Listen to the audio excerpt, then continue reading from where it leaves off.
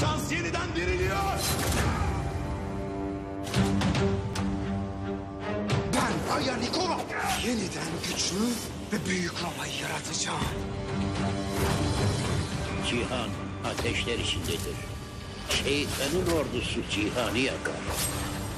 Türk ordusu nizam kurar.